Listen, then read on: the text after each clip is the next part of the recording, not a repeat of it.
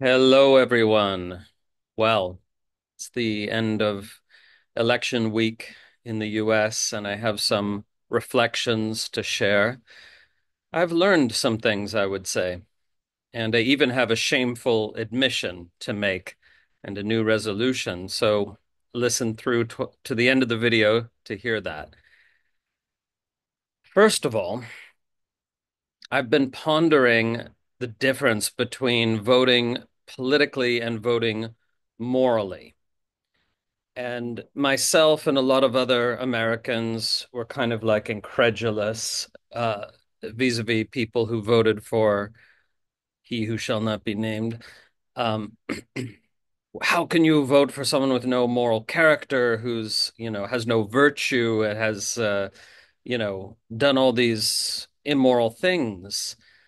But many people I came to realize are voting politically, not morally many people are willing to vote for a candidate that they don't like and that they acknowledge has done morally problematic things uh, because of the political gain they think will come from that vote. So they may be concerned about this issue or that issue. Uh, they they may believe this uh, candidate will foster less war um, or even prevent wars, and obviously that's an important issue. Some people may be, you know, anti-abortion voters. Some people are single issue voters. Uh, there are many, many reasons that somebody might vote politically um, despite moral misgivings. And others just cannot bring themselves to uh, ignore moral character as as part of the equation, and I guess I'm one of them. Um, I I certainly could never uh, vote for someone with such a lack of moral character. But then people point out, well, the candidate on the other side, you know, doesn't have strong evidence of a of a virtuous character either. Anyway, I'm not going to get into these debates. I just want to mention that these are different ways of voting, and we need to acknowledge that some people are going to vote politically, and maybe they're right to do so. I don't know. Um, and and for others of us, we can't ignore our our moral qualms. And some of those people, of course, didn't vote at all because they thought so little of the moral character of both candidates. But I want to move on to more important issues, I would say. Um,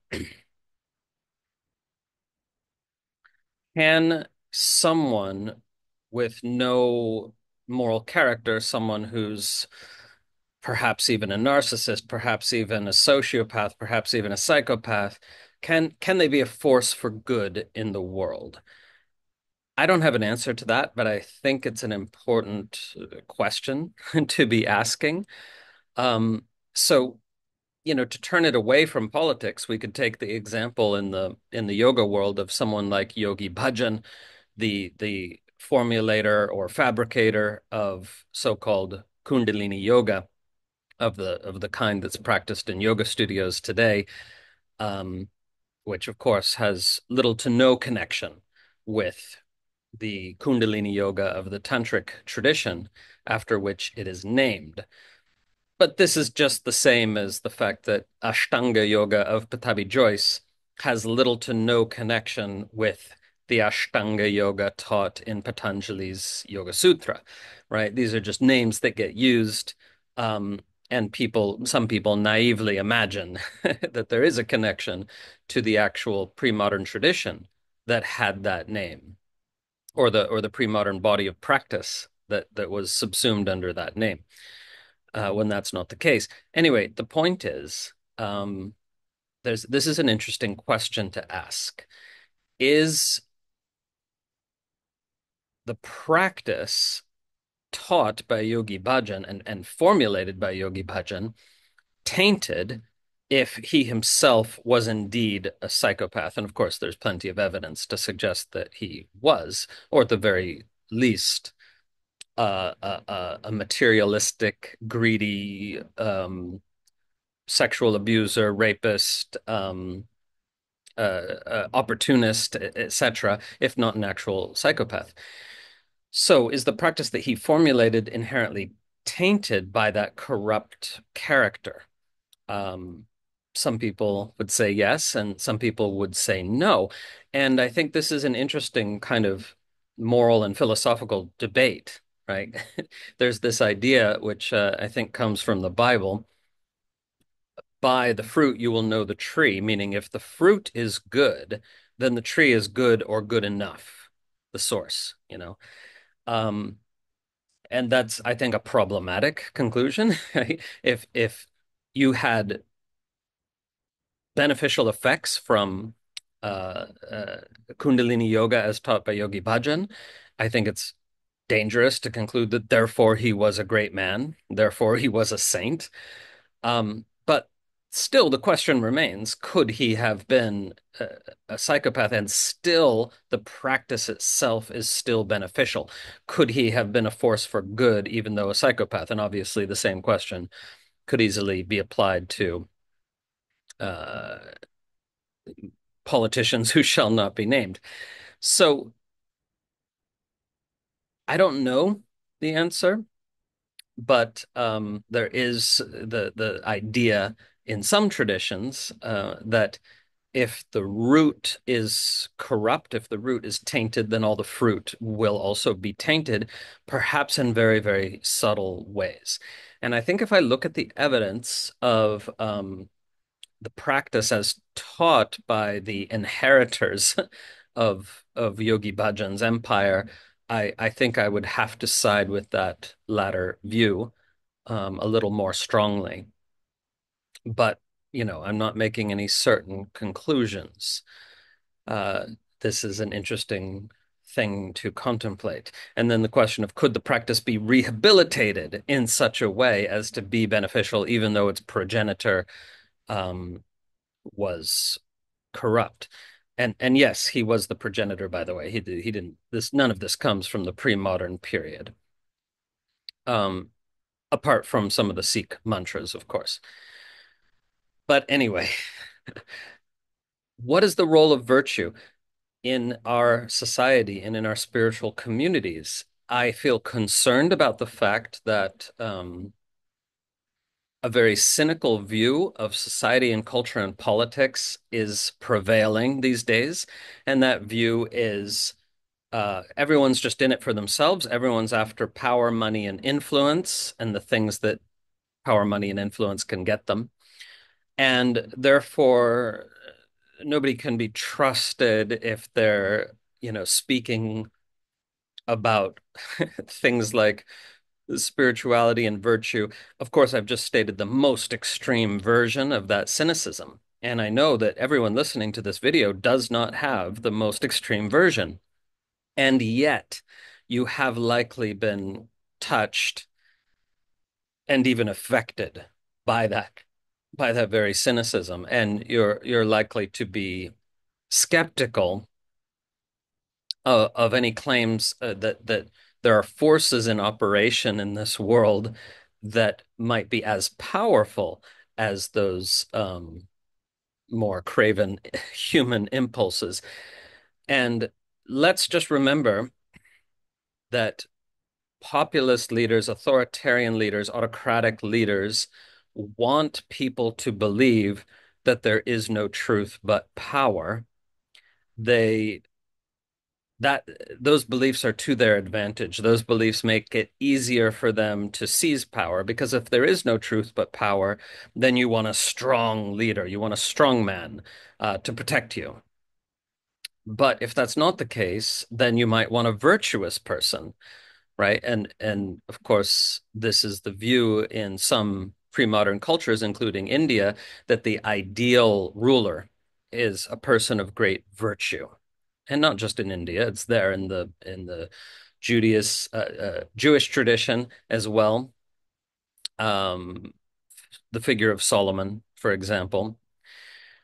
So, personally, I do advocate for a return to virtue, and I'm contemplating how that is going to manifest in my own life as well. Um, I think, you know, a modern cynical sensibility that scoffs at virtue or the attempt to cultivate virtue is perhaps the most dangerous thing in our society because we need to cultivate virtue to survive. We need to cultivate the great virtues. Uh, and obviously, you know what they are love, compassion, kindness, gentleness, decency, straightforwardness, like lack of deviousness, and so on. Those virtues which we study in depth um, in my 21 day awareness challenge, which I offer at the beginning of every year. And uh, I'm I'm feeling the significance at this point in time of emphasizing virtue even more, and that the, the cultivation of it can be a powerful force. That the virtuous person is not a weak person necessarily, right? It's it's not the case that someone who cultivates virtue is necessarily weak. Uh, in fact, virtue can be a source of great strength, as the tantric yamas and niyamas teach. So more about that uh, somewhere down the line. Um, I also want to turn now to the issue of polarization because this is not just a political issue. Uh, this is a cultural issue as well. It, it's not just infected our politics, it's infected our whole culture in the US and in many other countries too right? Uh, uh, whether it's Brazil, whether it's uh, countries in Europe for sure, um, India, you know, other countries where where the populace is polarized in some of those places, of course, whoever's in power um, suppresses the the the other side, suppresses the speech of the other side. Unfortunately, that's been happening a lot in India. Um, but anyway, the point is polarization is is happening all over the world. Um, I, I think it's primarily a function of the algorithms of social media, which have learned uh, that that outrage um, generates more attention, and it's of course an attention economy in social media. Um, the more attention you're giving to the social media, the more ads you'll see, and so ad advertisers will pay more money if the platform can show that they have this much attention, this many eyes on. And the best way to get attention is outrageous claims and things that get people riled up and upset. And and so that has driven polarization, as many other commentators have have explained at length. But it's not just a matter of that. It's it, there's something else going on that I call epistemological decoherence. And that refers to the fact that our sources of knowledge are increasingly disparate, not overlapping.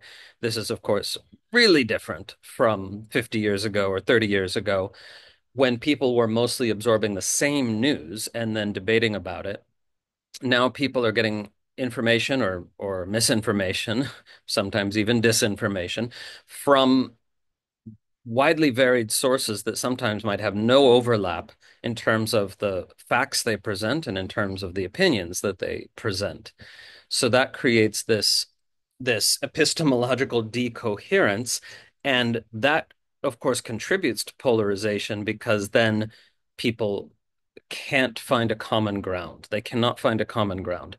And I see on social media, for example, you know, countless people uh, who are who are um, voting blue, flabbergasted that so many people could vote red, and so many people who who vote red are absolutely astonished and in disbelief that those voting blue could fall for the propaganda that they supposedly do. Uh, and and also vice versa. You know, the point is, again, I don't want to get too much into politics because I see this as more a cultural issue. It is a huge cultural issue, this this po polarization. And if there's no common ground, you just cannot imagine how people could hold the other view. Um, and we see that vis-a-vis the Middle East war. We see it vis-a-vis many, many issues. Okay, what, you know, how do we address this? Well, first of all, let's acknowledge we have a huge problem, which is that all our media sources and information sources are profit driven. And that creates bad incentives when it comes to information. So uh, I, I, I don't see a solution as long as media is profit driven. And let's take the case of podcasts that are free. I mean, some of them are paywalled, but many of them are free. Well, but Podcastistan, as some people call it, is absolutely shot through with bad incentives. Because even if the podcast is free, it's free usually because of advertising. Uh, you know, that it's it's it's um, getting paid by one or more kinds of advertisers, and that means that the podcaster is very concerned with followers. How many people are they reaching? Because if they reach more people, they can make more money from the advertisers. And if they're concerned about how many people they're reaching, that's a bad incentive that results in what's called audience capture, where the views of the podcaster get more and more and more skewed by whatever their audience wants to hear. And this can even happen in extreme ways where the where the podcaster gets radicalized by their own audience um, because of course the the survival instinct is incredibly strong. They they want to survive, they want to make money, they want to have a have a good life in terms of what money affords, right? Um, and so they they end up without even realizing it, um, getting captured by their own audience. And so there's bad incentives there. So whether whether the profit is coming, you know, uh, what if there's profit involved, uh, if there's money involved, that's a bad incentive. And of course, how is it not going to be involved? You know, universal basic income for all podcasters so that they don't have this uh, issue. I don't know. Then there's the problem on top of all this of propaganda, which is a huge force in, in, in modern society, right? So, um, covert political actors are propagandizing in in in a whole lot of covert ways. Um, there's there's a website, I think it's called Follow the Money, that might not be the right name, but it's it's really amazing investigative work where they look into oh, where where's the funding coming from for this or that speaker, this or that uh, talking head, uh, this or that news source, and it's amazing because they expose oh, there's dark money that that there and there's influence, even if people aren't getting paid to say something in particular, there can be much more insidious and, and more subtle forms of influence. Um, and again, this this has to do with the problem of information dissemination for profit and the bad incentives it brings appearing in another way. Um, there's more to the issue, but suffice to say that uh, you really have no idea if the source you're listening to is not captured by these bad incentives. Now, you might say, oh, but I read independent journalists on Substack.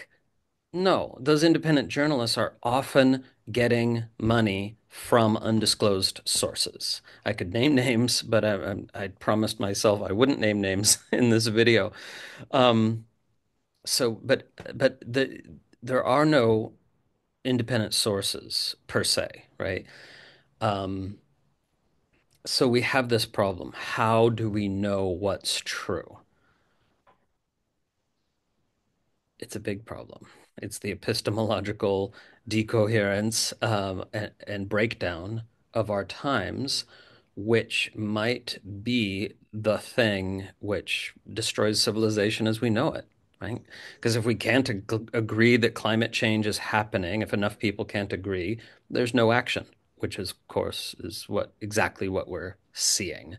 Um, I mean, we would have to agree that it's happening, that it's going to be catastrophic, and that human action can mitigate that that those catastrophic effects. There's multiple things we would have to agree on to take um, action on a huge scale, and people don't because epistemological decoherence. You know, it's so I'm just trying to point out that this problem is not just a political one, it's one that could result in um, the fall of civilization as we know it. I'm talking in 50 years and 40 years and maybe in 30 years.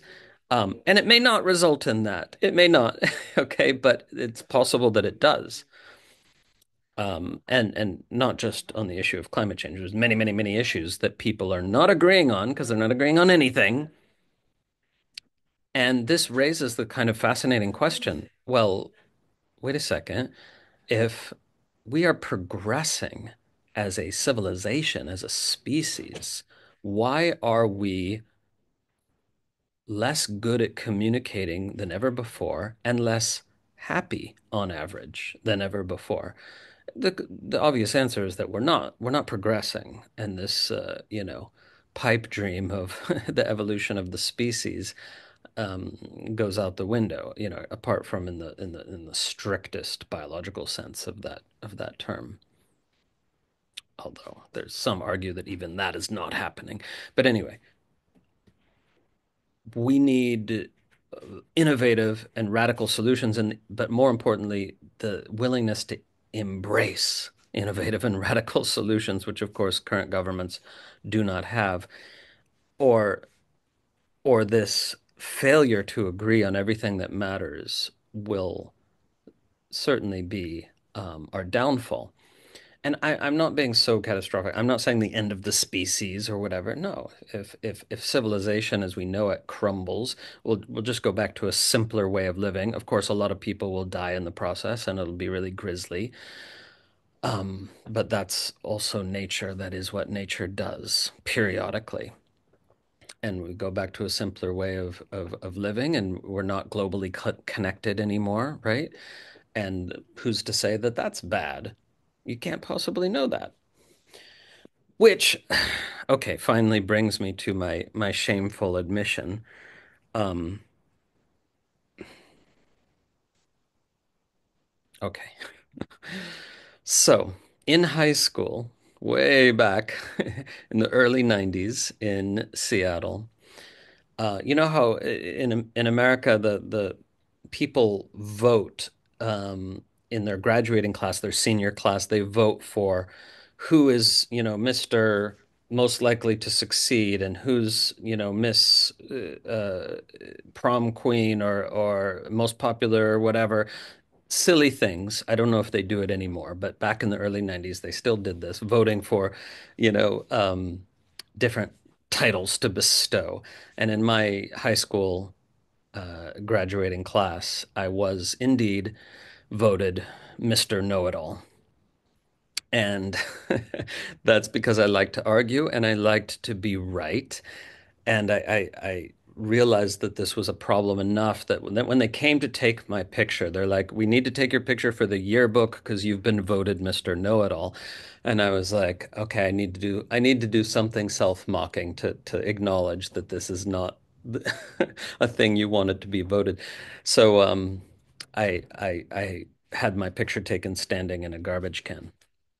Anyway, the point is it has been a long, long, long process of many, many, many years um, to to slowly get less emotionally invested in being right.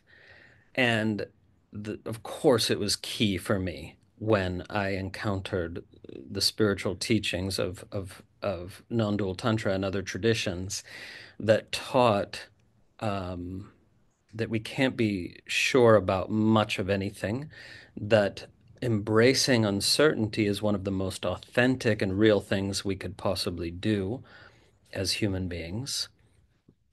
And I realized that is what I, I needed to do. And I, you know, I've been doing it for many years, but it's a gradual process.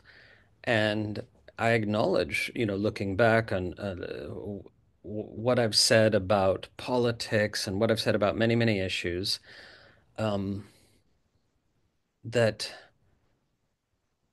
my commentary hasn't always been as clean as it could be because of this lingering attachment to being right. And more importantly, perhaps than that, my engagement with people, the way I argue with people about the issues, um, is is tainted by that attachment. It's way less than it used to be. Of course it is. Um, but you know, still there enough that I want to call myself out on it and resolve to embrace the truth of uncertainty more than I have before, which is exactly what the spiritual teachings invite. Right. So, yeah, I I even though I feel relatively sure that the moral moral character of the of the candidate who just won the US presidential election is is is, is corrupt or or at least absent, that doesn't mean that his victory is the worst possible outcome. I don't know that. I mean, maybe it is. I have, but I can't know that. Maybe for the long-term course of history, that his victory is better. Uh, and on what basis am I saying better? Um, on the basis of the potential for greater flourishing and greater well-being for conscious creatures, for, for humans and other conscious creatures. So that's whenever I'm talking about better or worse, that's what always what I'm referring to. I, I don't think there's better in an absolute sense, but I think relative to the well-being of conscious creatures and human flourishing, there is such a thing as better. Of course there is. Uh, and and for all I know, um, the way the election went is better or will be better. Not immediately, but in the longer term. Who knows? I don't know. The thing is, admitting, you know, that that that I've had this attachment that and that it's tainted the way I've argued with people and that I want to embrace uncertainty even more than ever before. Saying that doesn't it doesn't eliminate the truth that that that that some things are more probable in life than others, meaning to say, we think about things in a way too much of a binary way, uh, being right or being wrong, as if it's that simple. And of course it's not. You know, it's like we can oversimplify for the sake of, of some goal and say, oh, I was wrong there. But in almost every case where we were wrong, any of us, there was a grain of truth in what we believed. Not always, but sometimes, oftentimes. And almost every time that we're right, there's nuance there, right? We're not entirely right. And and so when we're assessing something, like is this the case or is this not the case? Let's remind ourselves that if we're thinking in a binary term, we're not thinking accurately and we're not thinking clearly. It's never a matter of is this the case or is this not the case? It's a matter of to to what extent, uh, you know, how strong is the probability that this is the case? And so I think not enough people, including me, um, factor probability in, meaning to say we, we're just get caught in these binaries and media and social media, of course, are, are complicit in this. And we need to think in terms of uh, probabilities more. Because even though everything's uncertain and you really can't be sure of anything, uh, apart from death, of course, you still got to place bets in life. You still got to bet on something, you know? So it's like in an election, for example, you, you vote because you're you're placing a bet. I I'm betting that this candidate will be better than that one. But if you acknowledge that you don't actually know for sure, you're going to be less emotionally um, caught up in the drama, the drama that again, the media and social media is complicit in feeding. But we need to start opting out of the drama because this is a vicious cycle. Okay, and yet you still got to place your bet. You still got to vote. You still got to, you know, bet on something in your life. Like when we when we choose a partner, we're we're placing a bet. When we um, make a move, when we choose a career, when we when we choose anything, we're placing a bet. This will be better for me than that. I hope, probably, and this will be better for the world than that, probably we have to place those bets, and those bets should be informed by as many facts as possible, as well as by our innate intuition. So I'm uh, what I'm advocating for for myself and for you is that embracing uncertainty, embracing the fact that you you know that you don't know, you m might have a hard time admitting it, as I often have in the past, but deep down we know that we don't know anything for sure. And we can embrace that while still placing our bets. It's just that if you're embracing the uncertainty, you're you're you, you place your bet with less fear and less attachment, and that is obviously key now more than ever. What what can we be sure of? Well, I said before I said death, but that's vis-a-vis the future. We can't be sure about anything in the future other than the fact that we will die. These these bodies and minds will die. And everything else is is up in the air and open to question. And in the 21st century, more than ever in human history, that's the case, that we have no idea what's going to happen. But there's also the question of um, what can you be sure about now in the present moment? And of course, the answer is just that which you experience wordlessly, meaning to say, I'll, I'll speak for myself. What I can be sure of is the experience of my own being. And shouldn't we pay more attention to what we can be sure of? Notice, when we accept the fact of death, we live better lives. If we accept that we will die sooner than we would like, we live better lives. We prioritize what really matters. So there's something in the pattern here. When we pay attention to what we can be sure about more, then it improves our lives. Now, there's very little we can be sure of. Yes, that's true. But if we pay much more attention to that which we can be sure of, there's going to be immeasurable improvement in our lives. And in terms of present moment experience, I, I can be, what I can be sure of is all wordless. It's wordless experience, right? Uh, it, what I can be sure of is not the opinions in, in my head. it's not the thoughts. It's not the predictions. It's not the framing. Uh, it's not the stories. What I can be sure of in the present moment is that which I am wordlessly experiencing. So, interestingly, our culture and our society doesn't put any value on that which cannot be described. And yet, that's what has the most value. Again, there's this amazing, beautiful irony, right? That which cannot be monetized is that which is most valuable. And if we put more attention on what's most valuable, then our lives improve immeasurably. So, what am I talking about in practical terms? Well, what people call meditation. It's, you know, the word itself has become compromised now, but it, communion with your own inner being, communion with that which is immediately true before you have a thought about it, right? Communion with your direct experience, which is uh, unarticulatable. Yes, you can try to articulate it, and and you can only ever partially succeed if you succeed at all. But as it presents in each moment, it's inarticulatable, right? We we make a story about it later for the purpose of trying to connect with other people and so on. But experience itself, the raw experience of existence of your own being, is ineffable.